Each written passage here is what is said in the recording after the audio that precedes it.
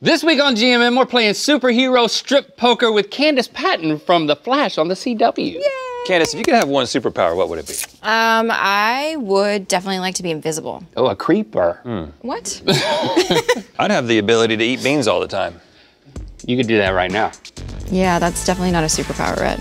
We'll also be celebrating our 1300th episode by asking, will it birthday cake? Guessing strangers' laughs with Zach Braff.